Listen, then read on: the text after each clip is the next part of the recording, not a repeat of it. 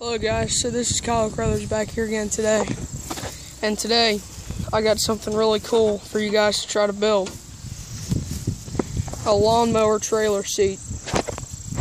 It's actually quite simple to build. Today I'm going to show you guys how to build it. Let me take the thing apart first.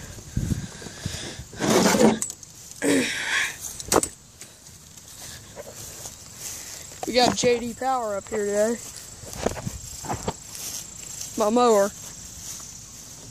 Alright, so first thing you're going to need to do is hook your trailer up to your lawnmower. Doesn't matter what trailer, doesn't matter what lawnmower. Second thing you're going to do is take your lawn chair, lift it up, smack it in the trailer. Don't actually smack it. Take your bungee cable and then just run it through the back of the chair. So that way the chair has some support.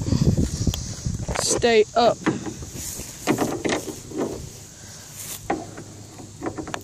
I can get it to go.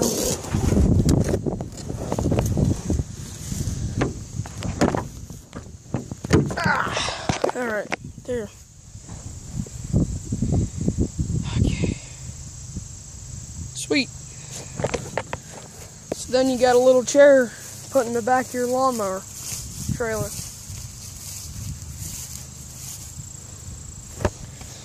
So that way you can actually put a person back there and they don't have to be scared to freaking death.